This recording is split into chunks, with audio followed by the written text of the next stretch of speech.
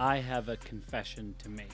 Despite what I have been telling myself for the past two years, I am finally admitting it to myself. My favorite game of all time is Sekiro.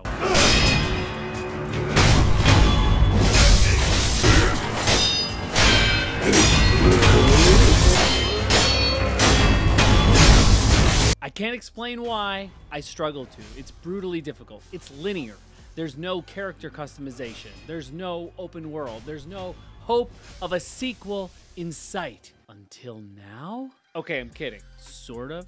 What you're looking at right now is a small 100% free game by a very small developer called, and I'm gonna butcher this, Kannagi Usagi. I love this game because the real reason Sekiro is the greatest game ever for me is because of the combat. And the small but mighty Kannagi Usagi copies literally everything, almost copies literally almost every single thing to a T about Sekiro's combat and pits you against hot anime female bosses over and over and over until you beat them all. There are no levels, there is no story, none of that. You just fight bosses and then you're done. It's short, it's great. Here's the deal you're this anime girl with a bunny thing in her hair. You go to one of these stones, battle a boss, battle the next one. That's it. But what's inside these battles is truly fun. The entire basic Sekiro moveset is here. Jump, dodge, swing, parry, block, and the posture system, all here. Mikiri counter is even here as well to make devastating parries when you see that familiar red symbol, hear the sound, and your opponent's winding up in a straight on motion. And when you see the same red symbol and that sound, and the opponent is winding up in a side slash setup, you can, just as in Sekiro, jump, dodging the swing, and jump on your opponent's head like some little lily pad to deal some more posture damage.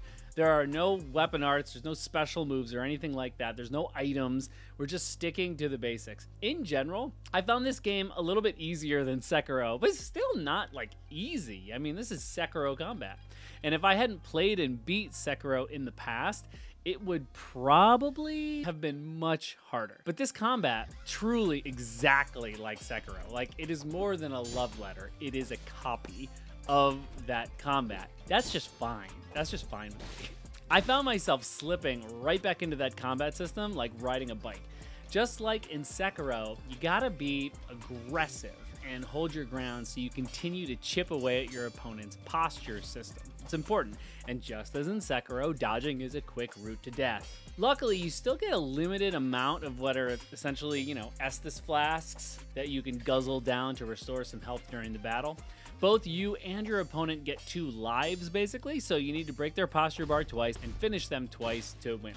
The first time your health bar drops to zero, you die, and then, just like in Sekiro, you resurrect. Shadows die twice after all. Each boss has its own unique moveset to learn too, so you can parry in rhythm accordingly.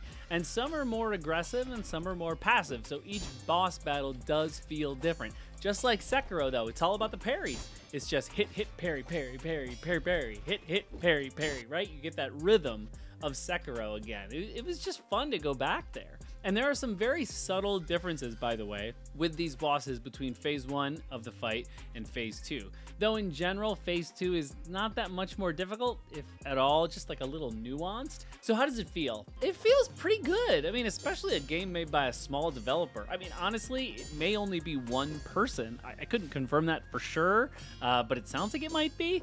There's definitely a bit of jank here, okay? And the timing is maybe like just a smidge, just a smidge, smidge, smidge, smidge, smidge off perfect. But it doesn't really hurt anything.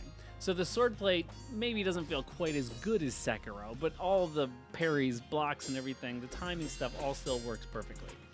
But I mean, listen, it doesn't feel as good as Sekiro. Okay, but I mean, Sekiro was a multi-million dollar game made by From Software. This is an incredible faithful recreation of this combat system. There's honestly not much I would change about this. It's super fun to blow through these bosses and retaste that awesome Sekiro gameplay. And I am not alone here, my friends. The game is overwhelmingly positive on Steam with over 3,500 reviews. It's hard to believe it's free, so why is it free? Japanese developer again, sorry, Tonoji, has been active on Twitter during the development process, actually. And according to the translation I read, because it was all in Japanese, so I wasn't sure, but according to the translation I read, he made it free because it's so close to the original source material, i.e., Sekiro.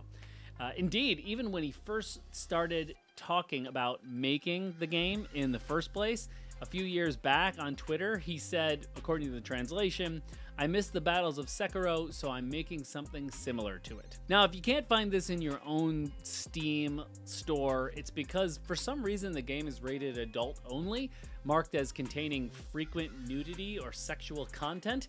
I don't know what that's all about. I mean, these anime women are scantily clad, sure, but there's no nudity and there's no sexual content, so I'm not really sure what that's all about. So you may need to go into your Steam settings and turn on the steamy setting. Oh, God.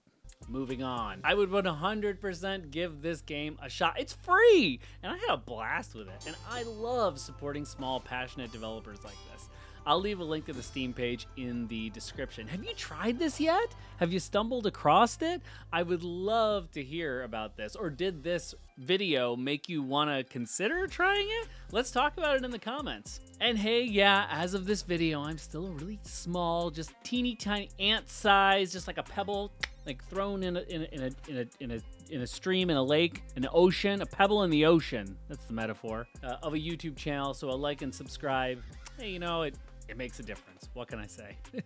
All right, have a good day. And hey, don't forget to have fun.